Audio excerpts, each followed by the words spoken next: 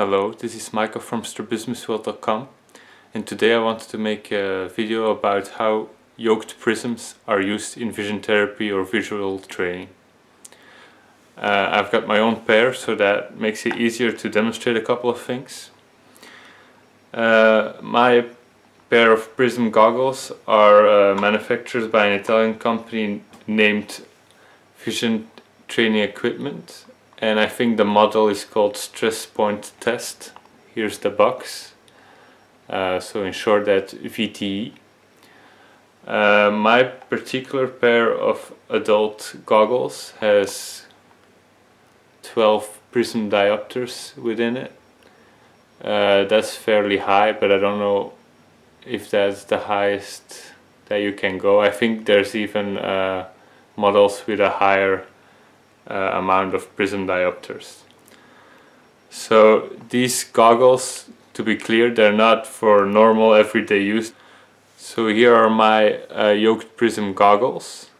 Uh, you can clearly see the prism slope. Uh, they will distort your visual field and shift uh, everything you're seeing to one particular side. But not only will they shift what you're seeing, but also because it's such a high amount of prism, they will uh, distort and uh, on one side it compresses what you're seeing and on the other side things will be wider. So that's a visual effect from the high amount of prism. I'm actually looking through them the wrong way around.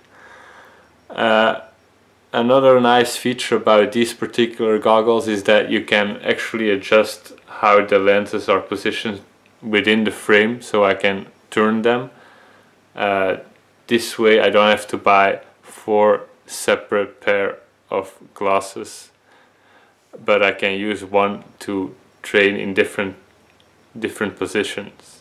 So how are they actually used during training? I said there's four positions uh, there's up, down, left or right. And the whole point of having these four positions is that you uh, insert visual change. So your visual system has to adapt to changing visual environments. That's the, that's the main point of the exercise. But it does so in various ways. So not only is the light that reaches your retina different, so not only has your visual field shifted to one side or the other, but also your proprioception of your the proprioception of your eye muscles has changed because your your eye muscles feel different and they have to strain to adapt to a certain new visual environment to to make to work out and make sense of what what's happening.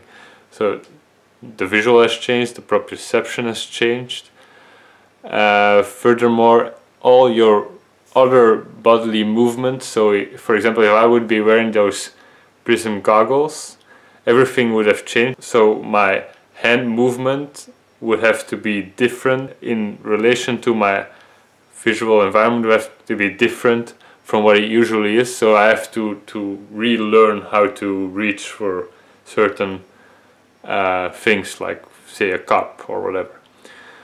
So that makes it quite hard. There's more videos on YouTube of people trying to relearn skills with, with Prism.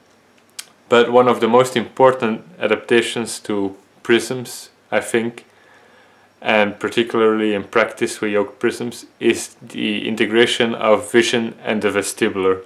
Because usually you would use them while balancing on a, on a balancing beam and that's very hard because the first time I did it I, I just I just fell off and then it took some time uh, to uh, to learn and adjust.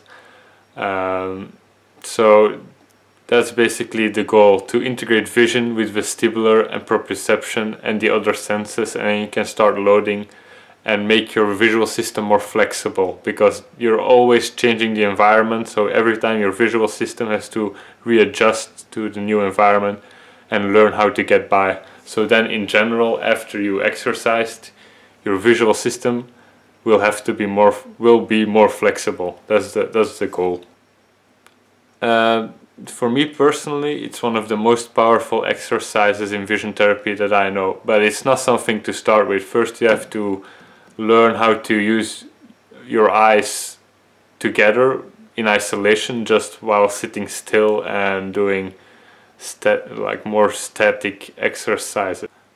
But once you get that down, and you can move your eyes together quite comfortably while sitting, then you have to start integrating your eye movements within with your other senses and in more dynamic situations. And for this, uh, yoked prisms and balancing beam are really perfect. And to me, it's one of the most impactful exercises I've done because after using those, you really feel that you've had a proper workout and the the after effects are really tangible. To me, it's, it's sometimes like uh, being drunk. Like some things seem to be floating, and I'm a bit dizzy, but that that's all right. You know, then it means that I've done a workout, and uh, my brain had to do some readjusting. So for more advanced vision therapy and integration with vestibular and proprioception and dynamic movement yoked prisms really are a very powerful and in the end very simple tool.